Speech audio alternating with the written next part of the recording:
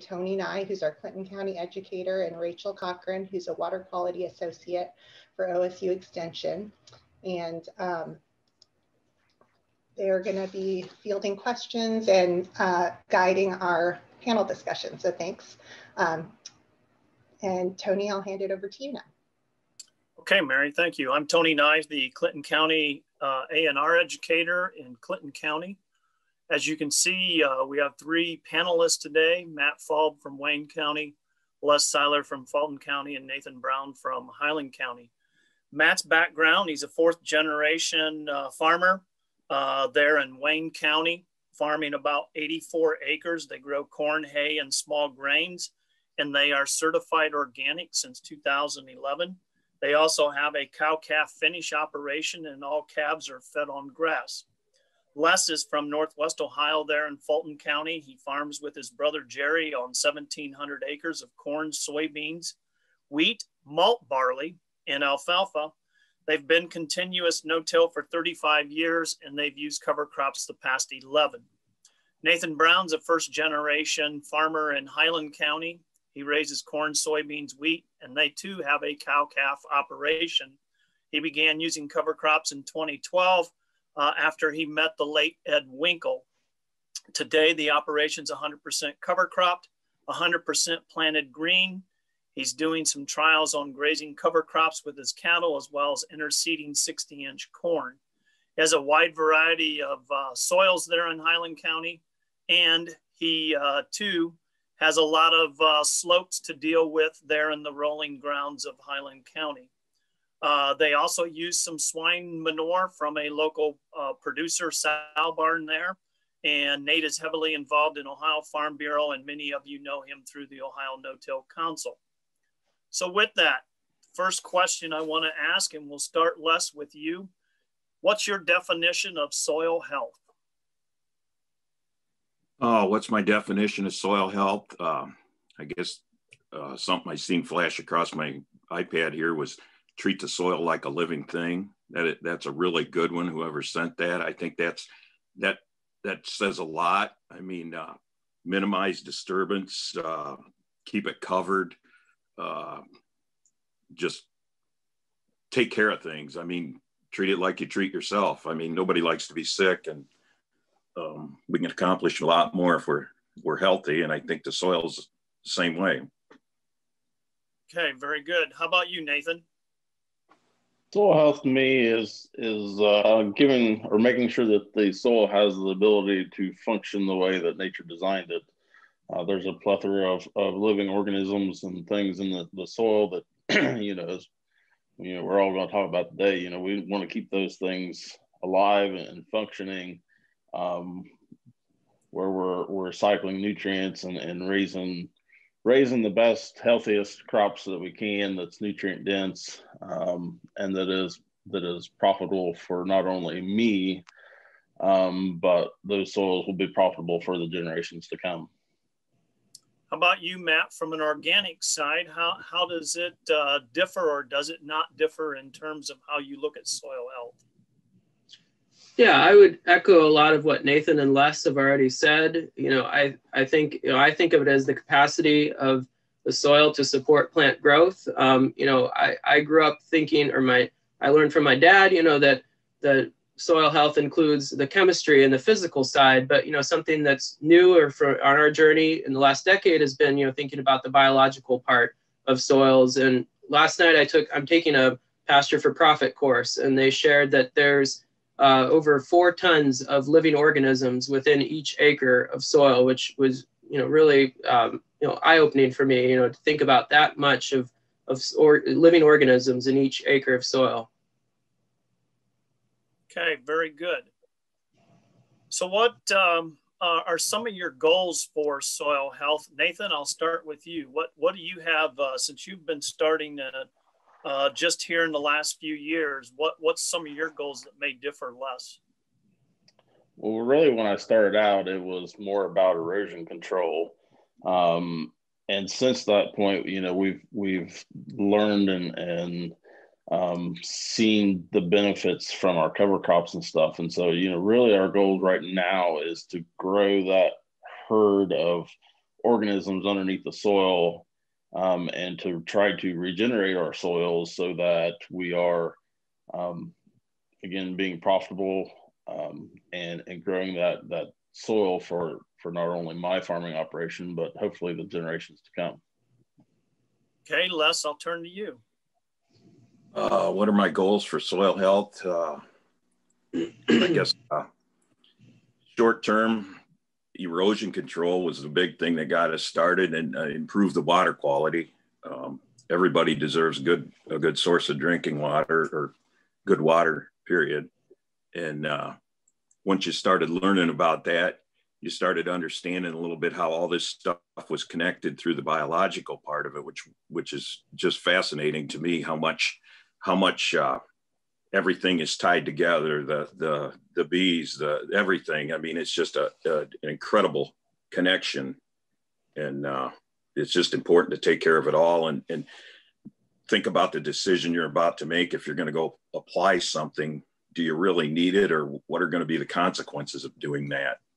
Whether it's a pass of tillage or anything you're going to do or herbicide we we really need to rethink about that to to build this soil and uh, continue on with our building process. Okay, Matt, how about yourself? What what goals do you have in your situation? Yeah, I think it starts with having a ground cover on our farm as long as much as long of the year and as much as possible. You know, I think that that contributes to you know some of what Les and Nathan have already said. You know, trying to um, you know grow our own nutrients and you know from the organic side you know we can't rely on we, we're, our synthetic inputs are restricted. So you know how can we grow our own nutrients? And then also weed control is an important component of organic operations. And so having ground cover helps suppress weeds you know throughout the season.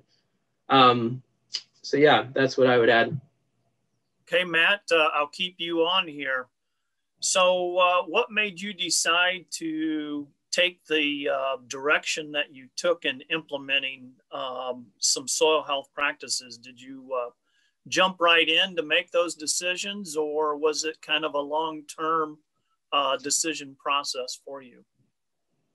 Um, you know, we, we started kind of uh, getting more interested in it in 2008 when we started transitioning the farm to organic uh, uh, operations and had a three year transition period. And as I said, you know, we, we are restricted on, on the use of synthetic inputs. So we had to start figuring out how can we start growing our own nitrogen specifically for corn production. And so that led us to, you know, thinking about what legumes or what kind of cover crop we can incorporate in. We grew small grains uh, as a source of cat straw for our cattle.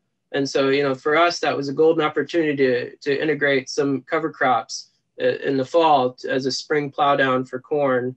Um, and then, so that, that kind of got us started. And then as, you know, in the around 2015, we started doing more grass finishing uh, of, with our cattle. And so cattle need high energy forage to, um, to, to uh, finish properly. And so, you know, using cover crops to extend the grazing season um, and then also to, you know, gave us an excellent uh, feed source for, for finishing cattle. So that's been a real benefit or asset to our operation, the cattle side.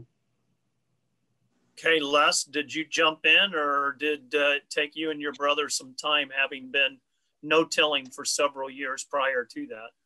I would say from the beginning for us, it started out with erosion. I mean, so we we tried to tackle some of those biggest issues with uh, waterways, filter strips, uh, subsurface drainage, and uh, I I spent five years trying to figure out how we was going to put cover crops into our operation, just trying to figure out how to do it. And uh, the easiest thing to that I found was to put wheat back in and dabble with that a little bit, and uh, then try and implement it across every off across the corn and soybean acres. And now we've got some hay, alfalfa hay, and barley, and some other stuff and uh, it, it, just helped the diversity of it. And that's the diversity is uh, very beneficial in a lot of ways too. Okay, very good. Nathan, I would call you aggressive in, in respect to many producers in Southwest Ohio. So I wouldn't really say that you took baby steps. You probably jumped in a little quicker than most. So uh, one of the things that uh, has intrigued me watching you is some of the different things you've tried. Uh, what practices are you trying to implement that you seem or, or you feel seem to be uh, working for you in terms of improving soil health? Really, we started out um, terminating our cover crops early. Um, I used to, I wanted to have everything brown by, you know, sprayed by the end of April every year. And, you know, I really got to thinking about the organic matter that I could possibly be growing if I left that go. And so about four years ago, we began to plant green. Um, we delayed our termination till after planting. Um, and that has really, for me, has been a game changer.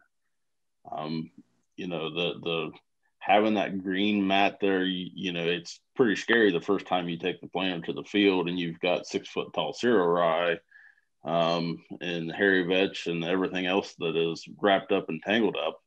Um, but that really has allowed me, especially with these wetter springs that we've had the last couple years, to be able to get on ground that probably was a little heavy yet. But I think the the root structure and the organic matter there at, in that planting zone has allowed me and has forgiven me um, for the sins that I'm, I'm doing and, and really has opened up, you know, let me get in and plant sooner. I've had, you know, some neighbors that have been pretty well long-term no-till and they've about ready to pull their hair out because they can't get the planters to the field and actually have um, brought iron back out to the fields just to try to get things to open up and dry out. And, you know, I, I've told him, I said, you know, you're going to regret that come fall. You know, you've been long term no till, you take tillage out there, uh, you're you know creating compaction and everything else. Why don't you try to put some covers out there and try to plant green? And that really has been my number one thing that I have have been really excited about. Okay, uh, Matt, how about you? What uh, what have you seen to improve uh, soil health uh, in terms of practices? Tony, Matt's disappeared. His computer force shut down and he'll be back as soon as he can. Okay. All right. Well, let's uh, uh, look at a couple of the questions then, guys. Uh, question becomes what crop or collection of crops become a sustainable rotation? Also like to know thoughts on the hemp crop as a new means of, of diversification. Les, I'll start with you somebody gives me an opportunity to grow hemp, I'll try it. I mean, I'm open to the, I'm open to trying anything. Um, I I don't know anything about it. Um, to be honest, I mean, I know it. I know it's. We could do it around here. I'm sure. Um, uh, other other crops, I guess, trying to establish a market. I don't know if we'd have 180 acres of alfalfa if we didn't have a hay mill nearby that that's uh, that's a good fit there. Um, I I really like how they operate and come in and, and knock the crop off and get it out of there. Um, it, it's uh, it's been a good a good uh, relationship working with them guys. Uh, the barley, I hope we can continue to grow barley just because it's a nice fit where we're at up here.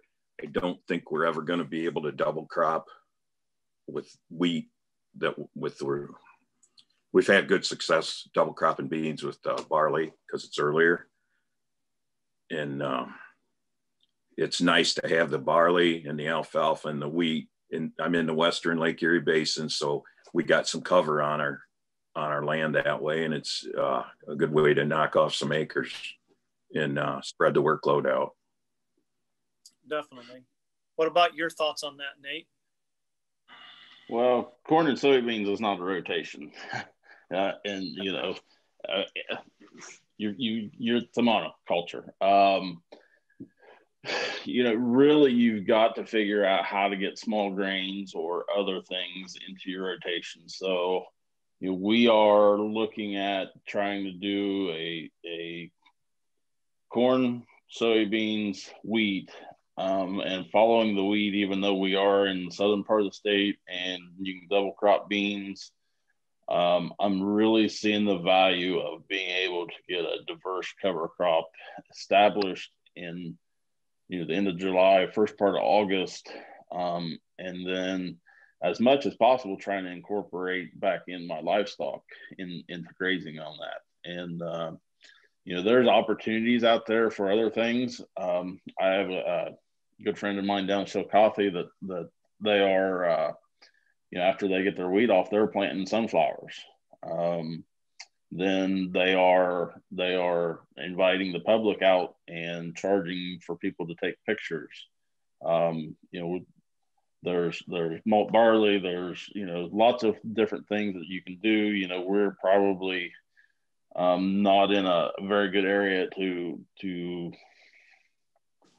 um, try very many different crops to grow as a crop. But if you could find uh, somebody you know that's feeding livestock, um, there may be some opportunities there where you could grow something different um, and have have an in market there. But as many crops as you can get back in, everybody nobody likes planting wheat or barley you got to get the combine back out in you know June, and you know it's more workload, but um, the benefits that I see from being able to to get that cover crop established earlier in the year is is a great benefit. Okay, Matt, there was a question that came up that might fit you uh, um, in terms of, and it'll I'll, I'll ask this to all of you, but someone wanted to know um, and using cover crops, how do you feel it's increased, increased your soil health enough to reduce fertilizer inputs? And I would also add to how has that helped maybe improve weed control with less herbicide? So Matt, since you're organic and you have those challenges for what's available to you, I'll let you answer that first.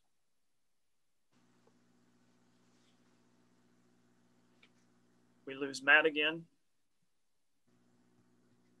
Yep, must have lost Matt. So, uh, Les, I, I know you talked uh, in uh, some questions and answers we talked about uh, in looking at uh, reducing herbicides. So, uh, how, how have you seen the utilization of cover crops helping you in that in that manner?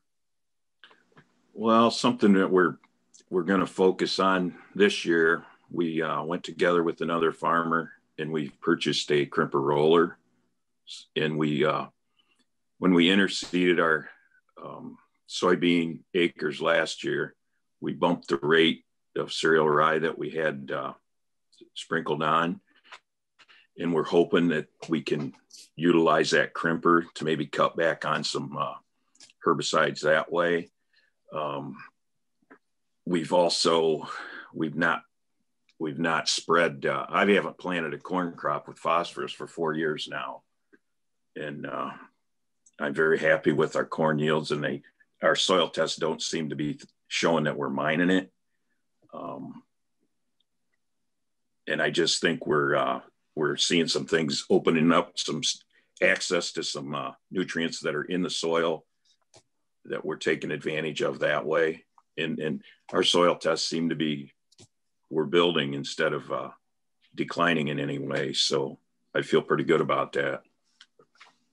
Hey, Nathan, how about yourself there in terms of uh, reducing herbicides, maybe, or reducing your fertilizer use that you would have when you first began? Normally, when I'm setting out to put a crop, cover crop out, one way that I try to figure out how to make that cover crop pay is by trying to reduce my chemical or my nutrient um, inputs. So, you know, the first thing I look at has been my chemical inputs. Um, if we're going to to put out, you know, fifteen or twenty dollars worth of cover crop per acre, we would like to be able to reduce our inputs you know, at least that much, if not more. And really, with the cereal rye, that has been a game changer in our soybeans.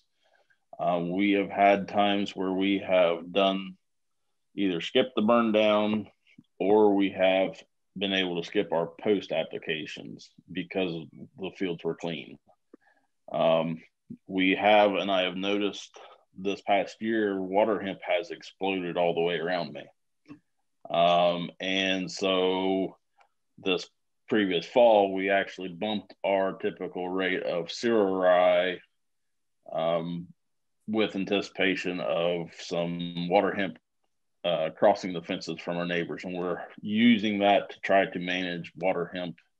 Um, like so, I it's not on my side of the fence yet, but I know it's it's going to be there. So, um, and nutrient wise, you know, I being able to plant the diverse cover crops, especially after your wheat, you can really begin to grow some nitrogen.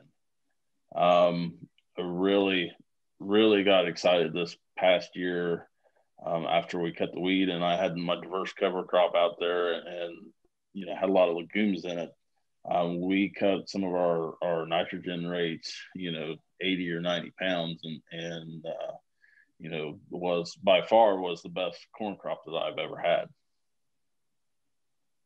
A question had flashed through on the chat regarding insects. Do you see uh, issues with uh, non-beneficial insects or are you having to change any practices in your in, insect uh, pest control? I'll lead it to uh, Nathan and then go right into Les on that really we we are seeing a, a decline in in the the negative pests that we have, but and we are uh, really starting to see an increase in our beneficials. Um, you know, I, I'm really surprised once you get different uh, species out there in the field how they will attract different things. Um, and so, you know, we see an, an increase in, in a lot of our um, ladybug populations. We're seeing, you know, and we're just not seeing, you know, the insect pressure. And we are, we have pretty well taken out all of our insecticides over the last three or four years. And, and you know, if it, if we do have damage, we really evaluate um, what the damages would be um, beyond that that pest that is causing the issue, you know, what is what is long term detrimental effect that that that insecticide would have on the beneficials? Les, um, I got to echo kind of what Nathan just said there. I mean, we eliminated neonics on our uh, our uh, soybeans when we get them treated. Um, we've uh, got a guy that's got some bees on our farm and he could tell during the planting season like he we know this emission coming out of the air planters of, of the treated seed. He can tell he has a he has dead beans bees laying around his hives. He's got a bunch of hives all around the area. And and and there is a, an effect on that. So i mean all that all that stuff uh, affects the things you need. Um, there's no doubt about it. We've got a lot more beneficial stuff on our land. Um, we don't use any insecticides at all. I mean, I I put down two ounces of a, a tombstone in my in furrow on my corn seed because we've had some uh, um, issues up here in this lighter soils, and that's the only insecticide that we deal with at all. Um, we've had some issues where I was told I should be spraying and we kind of watch things a little bit closer. We look at thresholds, and I think if you get into that situation, you need to spray. But to just uh, throw it in the tank because it's there, I don't agree with that. Okay, there's lots of questions, guys, coming in about slugs, army worms, voles, uh, those kinds of things. Um, the naysayers to cover crops would uh, uh, bring these all to the forefront. So, how do you uh, address that kind of concern? Uh, Les, I'll go into you first. I think we've all seen slugs out here. but I, I think it, it goes back to the last few years. We just haven't had any issues. Um, we've we've been told we need to plan earlier, and I I want to plan as early as I can too. But we still need warmer soil temperatures so that we're not putting this seed in the refrigerator and uh, hoping it comes out in 20 or 30 days. We need to we need to have quicker emergence. Maybe that means wait until the ground warms up a little bit. That's all. That's all better. Um, corn yield goes back to ear count, and uh, and we need we need to have as many kernels out of the ground and putting ears on them as we can possibly get. And uh, we seen in 2019 when we planted the first of June, for us, we raised the best corn yields we ever had. And it, it all went back to corn or uh, ear count. It was in the ground and out of the ground in five to seven days. And soybeans the same way. And I think sometimes when we plant too early, if we do get that cold rain, it's uh, a negative effect on it and uh, the slugs do like that. We're also planting green. I don't know if that's kind of we just haven't had a slug issue. We plant green and maybe maybe they're uh, filling up on cereal rye or cover crop. I don't know. Nathan. Yeah, I'll echo that. That's uh, you know, that's the number one thing that I have done that has decreased my slug and insects has been planting green. Um, the last time I had a major slug issues, and tell, I'm telling you guys, they ate 50 acres or so of soybeans off completely. Um, that year I went in and I sprayed early. Um, when we were, you know, by the time the beans come out of the ground, everything was brown and my crop was it was obliterated. Um, since that point, you know, we changed our, our thought process and our techniques and and um, have began planting green. Well, to plant green, you know, I want as much growth as I possibly can get. So, um, not I, not that we haven't really had the opportunities, but I still like to plant my corn, especially the second half of May um, after Mother's Day. And really, in my part of the world, we've the last five or six years, we've planted all of our crops Memorial Day weekend and after. So, um, and I've raised 250, 260 bushel corn um, planting then. And so I do not have any issues with the late planting. I do like planting my my uh, soybeans earlier if I possibly can because they grow with sunlight. And, you know, I like to get them established earlier, but I am not terminating my cover crop until later on. Um, so I think, you know, having that green cover out there for for the insects to eat on, but has saved them from eating on my crops. Okay, Nathan, this question is directly to you. Uh, you talked about increasing your rates of cereal rye. Uh, what what are you looking at in terms of pounds per acre, and uh, has it posed any challenges early on in the season when you've gone to those higher rates? We started out, and you can get by with if you, especially if you don't have uh, a high weed issue, um, you can get by with you know 25 or 30 pounds of cereal rye, um, you know, you're looking at seven to ten dollars an acre in cereal rye. But if you have mare's tail, um, if you have water hemp, you know, we're pushing that 65, 70, even 80 pounds. Um, and some guys are going higher than that, but that that rate there has been um, most economical for me. Um, so you know, I'm I'm shooting you know 70 right around that 70 pound mark, and um, actually, you know, I do have a roller crimper that I use some to terminate, and at those higher higher rates, and that's still on the lower end for roll crimping, but um, I've got along really good with those kind of rates. Hi, Matt. I see you're back. Can you unmute? Yeah, uh, my computer decided to, uh, it needed an update and start restarting right in the middle of the session, of course, luck of the draw. Okay, so I have a question for you. Uh, what management practices have you seen uh, best improve soil health on your farm in your situation? Um, yeah, I think you know just having having the cover crops, um, you know, and and having having that ground cover as much as possible. You know, we've seen soil organic matters increase about a half percent in the last decade, and you know that's significant for water retention and uh, water holding capacity.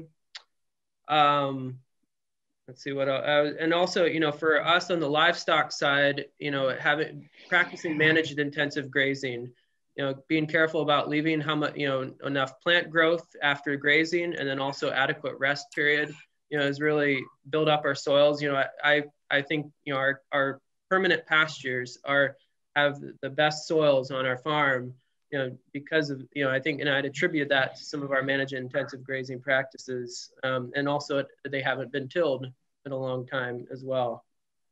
Um, and then just having a diversified crop rotation you know having having it in a alfalfa grass mix for half the rotation and then um, you know having growing small grains and corn just just mixing and mixing it together and then incorporating the cover crops um, we're also getting interested in integrating the, the, the cattle grazing with the row crop rotation so having dedicating one year of the crop rotation to cattle grazing um, you know, I think is something that we're starting. You know, so I don't have a lot of data, but but I think it's there's some promising practices to it.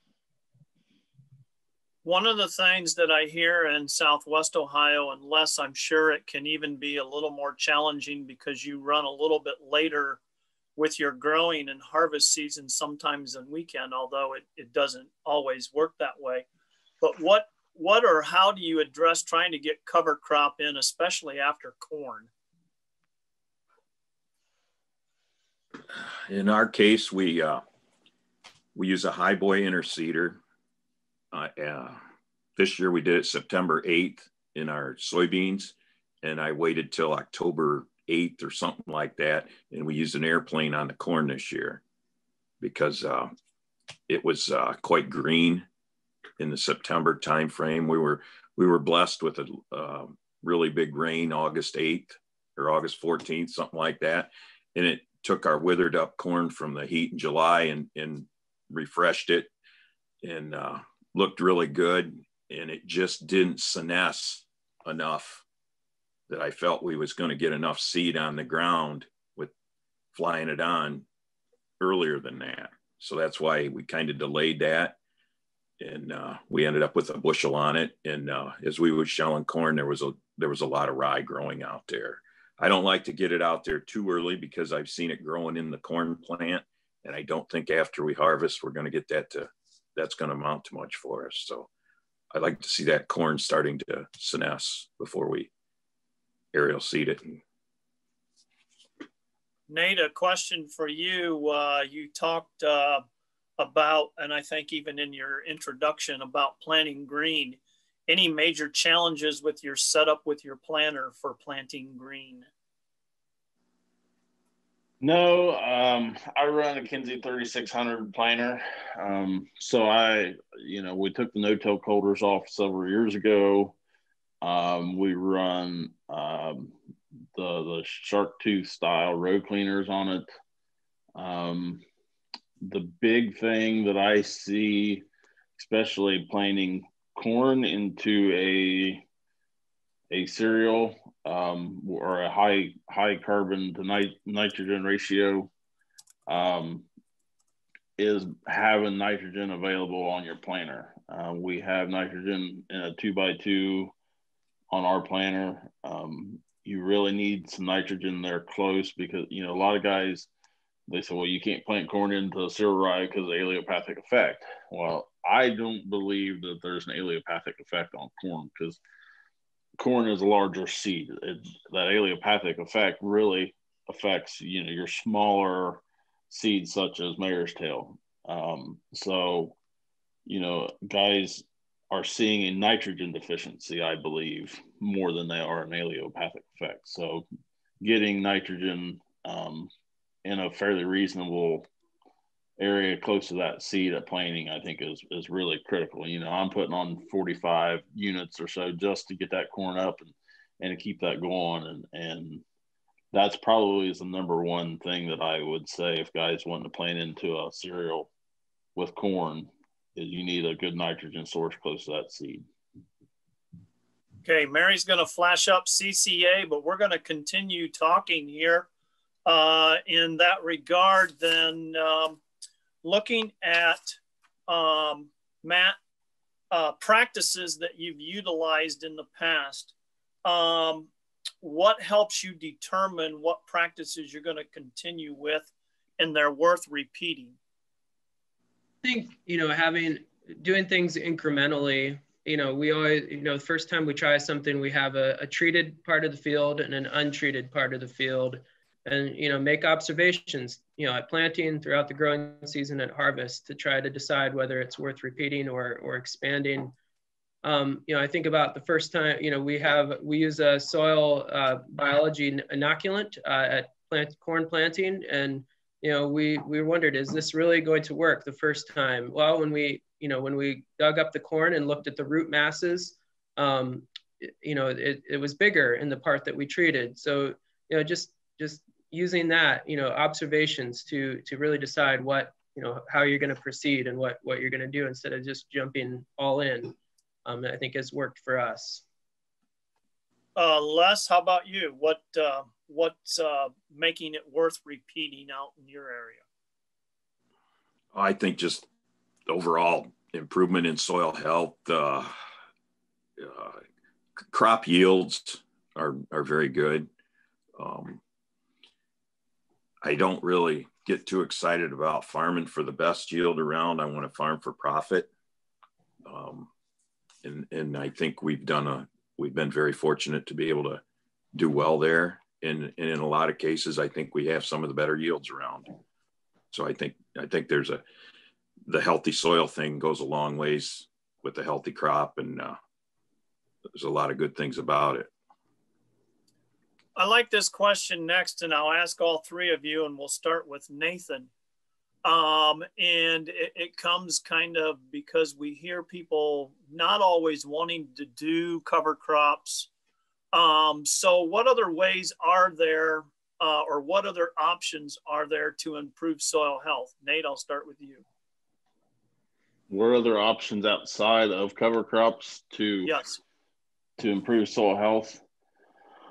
really you need to uh, you know if guys are doing tillage you know you you really need to look at trying to um, limit your disturbance as much as possible um, and not only with iron but you know also chemical and fertilizer you know sometimes we're over fertilizing or over over spraying and and you know that can have a real detrimental effect on on your um, on your soil health um, you know, just the biggest thing I think with soil health is try to mimic nature as as much as possible. And and when so, you know, I'm sitting here looking out the window and I look at the trees that you know across the field there, and and there's not just one block of oak trees or one block of elm trees. They're mixed in and out. So, you know, really trying to diversify your um, rotations as much as possible is, is a really is a key to soil health. You know, again, like I said earlier, corn and soybeans is not really rotation. So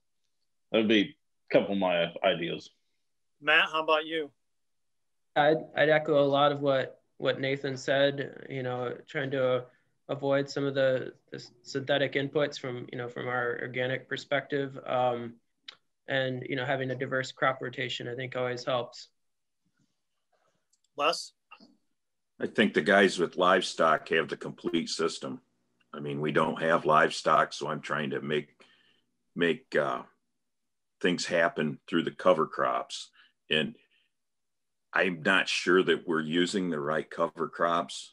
I mean, we're using we've got a couple choices after corn and soybeans, and that's basically cereal rye or annual rye. And uh, I still don't know that that's the right choice. Maybe maybe we're we're uh, hopefully we get we get people involved in this and we can learn what choices or what crops we could bring some new stuff to the table that would be more beneficial I feel like keeping a living plant in the soil as much as you can throughout the year is important. Um, farming is all about harvesting sunlight. And uh, if we can uh, keep harvest, harvesting it through the colder temperatures, I, I think, uh, I know the cereal rye in my area is growing um, in the ground. I haven't seen much on top, but I, I've dug up some plants already. And, and that living root is uh, just really important. So another question uh, we posed to the three of you before this event, what is the biggest constraint to implementing soil health? Uh, is it knowledge, experience, economics? Uh, Les, I'll let you start. I think the knowledge. I mean, 10 years ago, we never talked much about the biological thing going on. And, and in, we have learned a lot there. We've we've learned how everything is connected, whether it's uh, insects or plants, and, and it's uh, important. We learned that we need to keep this living root in the soil to see improvement. Um, we had no tilled for a long time, and uh, we strip tilled, and we just we just never never seen the advances in uh, organic matter in uh, the improvement of the soils until we started mixing cover crops in and it's trying to figure out how to how to uh, get them worked into your system you know with your management a lot of management. Matt how about you? Yeah from from the kind of the organic perspective again you know i i do more tillage um, you know and, and out of necessity for weed control you know i have to cultivate my corn and make extra passes over fields. And you know i think that disturbs the microbial life uh, in the soil. And so you know, I'd I'd like to do more no-till with with uh, in my corn production, but it's you know i am interested in the roller crimper, and I'd be interested in hearing more of Nathan's experiences. But you know, getting doing more of no-till would be would helpful be helpful. Um, and then you know, I think a, a timing is a challenge. You know, August is actually one of my busiest months of the year. You know, we're we're harvesting third cutting hay. We're wrapping up our small grain harvest, baling straw, and then trying to get cover crops in the ground after the small grains in August. So it's you know it's a lot to manage and a lot to juggle. So that's that's a challenge. Nathan. I think mindset is the biggest challenge to getting cover crops to work. Um, you know, if we look at the way we farm today, um, and really we've not been farming we've not been farming the way we farm today very long. You know really after world war ii you know is when everybody come back from the war and really when the agriculture revolution really started and and we started plowing fence row to fence row and and you know we look at some of the some of the obstacles we have now. You know look at the western lake erie basin look at the gulf of mexico. You know we think that we're doing right but um, you know, there's there's issues out there that you know, and I'm not saying we are 100% the cause of those issues, but we are we are a part of the issue and we can be a part of the solution. So trying to get around those mindset of this is the way we've always done it. This is the way grandpa started. This is the way dad did it. This is the way I'm going to do it. Um, really is really is detrimental to the the incorporation of cover crops because you know again cover crops may pay you back the very first year, but it may take you four or five years before you start seeing the return from that. But I believe going forward, after that, you start seeing that return. Um, you know, the the the repayment to, to cover crops and soil health will will make you abundantly rich on your farm. Okay. Uh, another question then. Um, uh, we've talked about soil health. How do you know you're improving soil health? What are you doing to measure soil health to know that you're actually improving it? Les? Oh, go look at the living crop. I mean, take a look at your living crop, I guess, when it's out there. I think that's a good way to look at it. I mean, uh, in, in what you're, what you're uh, harvesting, I guess, uh, creating creating a soil that uh, aggregate stability.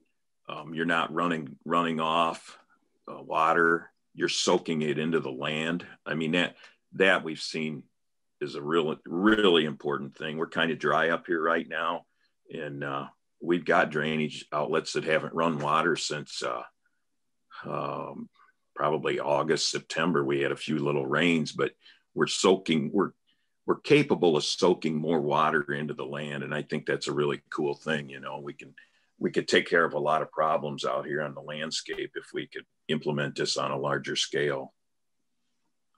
Okay, Matt.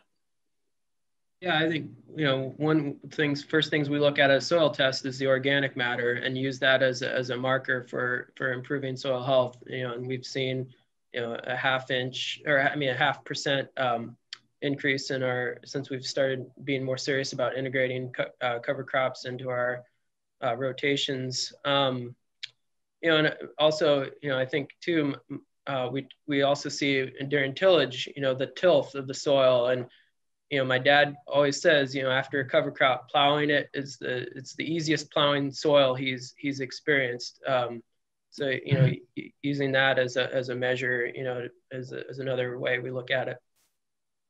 Okay, Nathan.